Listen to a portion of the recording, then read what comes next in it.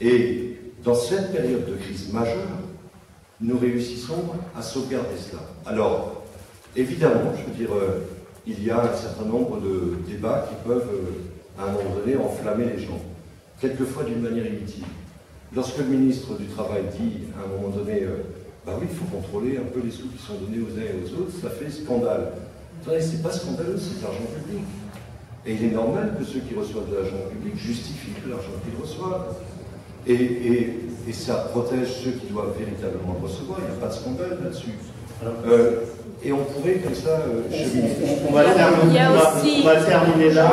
On est, on est à travers cette crise, l'Europe métropole, c'est une chance incroyable parce qu'elle offre un dynamisme au territoire, qu'elle est adaptée à l'histoire du monde et à son évolution, et qu'en cela, je veux dire, il ne faut pas nous laisser cette Alors, euh, Est-ce qu'il y a un slogan pour l'Eurométropole déjà?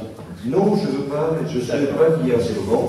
Je veux que ce soit une chance pour l'ensemble de celles et ceux qui vivent là et pour leur Merci à tous. Je rappelle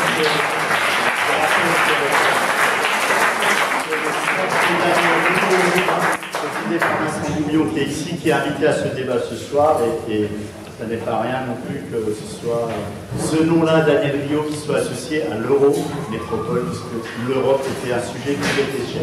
Merci, Merci